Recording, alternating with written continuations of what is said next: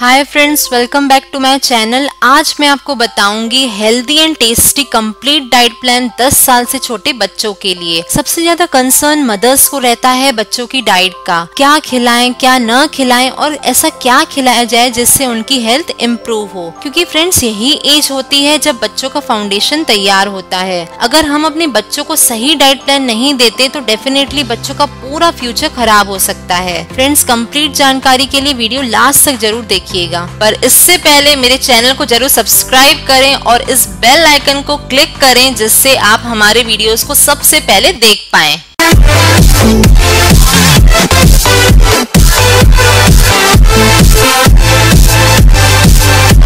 Parents को बस इन बातों का ध्यान रखना चाहिए कि बच्चों को आयरन दिन में 16 एम मिलना चाहिए। कैल्शियम 500 से 600 एम तक रिक्वायर होता है। कैलोरीज 1200 तक के कैलोरीज होनी चाहिए बट कैलोरीज बच्चे की लाइफस्टाइल के अकॉर्डिंग रिक्वायर्ड होती है। और इसके अलावा 25 ग्राम तक प्रोटीन उन्हें देना चाहिए। 20 ग्राम तक के फैट रिक्वायर्ड है। ये तो हमने बताया न्यूट्रिशनल वैल्यू के बारे में। फ्रेंड्स आपको अपने बच्चों की हमेशा ही ये कॉमन टेस्ट करवाते खाते रहना चाहिए। Vitamin D haemoglobin vitamin B twelve diabetes अगर फैमिली की हिस्ट्री में डायबिटीज़ है तो डेफिनेटली डायबिटीज़ की भी टेस्ट करवाएँ। आज की डेट में चाइल्डहुड ओबेसिटी यूएस के बाद इंडिया में बहुत ज़्यादा ही कॉमन हो गई है। क्योंकि आजकल की लाइफस्टाइल ऐसी है कि हम लोग की ज़्यादा फ़िज़िकल एक्टिविटीज़ नहीं होती हैं। तो इसलिए बीएमआई टेस्ट बच्चे का ज़रूर करवाना चाहिए। वैसे तो आप जानते होंगे, पानी हम लोगों के लिए कितना ही इम्पोर्टेंट है। ये हमारी बॉडी से वेस्ट निकालता है और बॉडी टेम्परेचर को मेंटेन करता है। पर कितना पानी पीना चाहिए बच्चों को एक दिन में? आइए ये जानते हैं। बच्चों को दिन भर में डेढ़ से दो लीटर पानी दें। आइए अब मैं आपको बताती हूँ complete diet plan early morning से लेके डिनर तक के क्या दें बच्चों को। अर्ली मॉर्निंग में जब वो स्कूल के लिए जा रहे हो तो चिया सीड्स दे सकते हैं। चिया सीड्स ओमेगा फैट्स का एक रिच सोर्स है। चिया सीड्स को आप पानी में डिजोल्व करके दे सकते हैं या फिर आप लेमन लेमन वाटर दें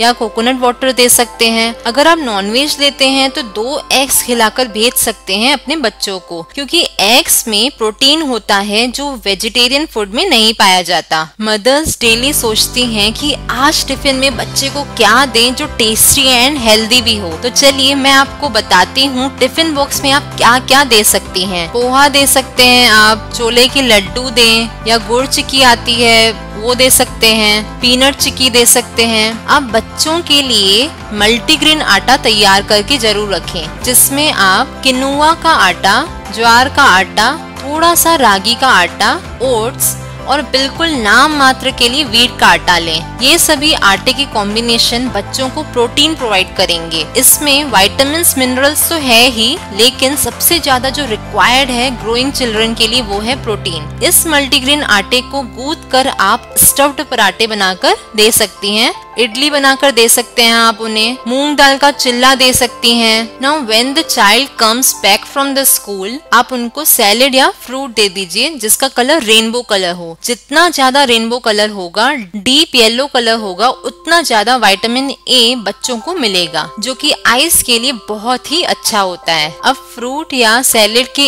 एक घंटे बाद लंच में आप उनको मल्टीग्रेन रोटी दे सकते हैं, चावल दे सकते हैं सीजनल वेजिटेबल्स आते हैं, वो दे सकते हैं। सोयाबीन ग्रेनुअल्स दें। अगर आप मिक्स वेज सब्ज़ी बनाते हैं तो उसमें सोयाबीन की ग्रेनुअल्स ऐड कर सकती हैं, ताकि प्रोटीन अच्छा मिले बच्चे को। बाजरा की खिचड़ी बना सकती हैं, रागी का डोसा दें बच्चे को, या इडली दे सकते हैं। सेज लीव्स को आप सब्ज़ी में ज़रूर डालकर दें बच्चों को। ये बच्चों के आईक्यू के लिए बहुत ही ज़्यादा अच्छा होता है। अब इवनिंग में आप उन्हें सोया मिल्क अमरंत लड्डू, ये बच्चों के लिए बहुत ही अच्छे होते हैं। अमरंत प्रोटीन रिच है। अब बात करें लेट इवनिंग की तो लेट इवनिंग में आप उन्हें चिकन सूप दे सकते हैं, पर अगर आप वेजिटेरियन हैं तो वेजिटेबल सैलेड दे सकती हैं। किनुआ सैलेड दें। किनुआ सैलेड ये बच्चों को बहुत ही पसंद आता है, या फिर किनुआ का पोहा बनाकर भी दे सकते हैं। अब डिनर को आप अगर थोड़ा लाइट रखें तो ज़्यादा अच्छा है। डिनर में आप आइसक्रीम दे सकते हैं। ऑलमोस्ट सभी बच्चों को आइसक्रीम खाना बहुत पसंद पसंद होता है तो डिनर की कैलोरीज हम आइसक्रीम से ही पूरी कर सकते हैं। फ्रूट प्लेट दे सकते हैं या फिर स्मूथीज दे उन्हें। बट ये जो डाइट प्लान मैंने आपको बताया फ्रेंड्स ये जनरलाइज डाइट प्लान है। अगर आपको पर्सनलाइज डाइट प्लान बनाना है बच्चे का हाइट वेट और उसके मेडिकल कंडीशन देखकर तो आप अपने क्लिनिकल न्यूट्रिशनिस्ट को ज़रूर कंसल्ट करें। Okay thank you friends if you really like the video तो हमारे चैनल को सब्सक्राइब करें और अपने फ्रेंड्स के साथ इसे ज़रूर शेयर करें। Bye friends